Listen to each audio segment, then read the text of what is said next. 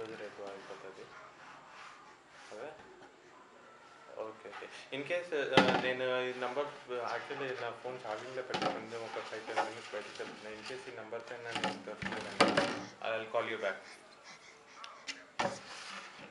లేకపోతే నా వైఫ్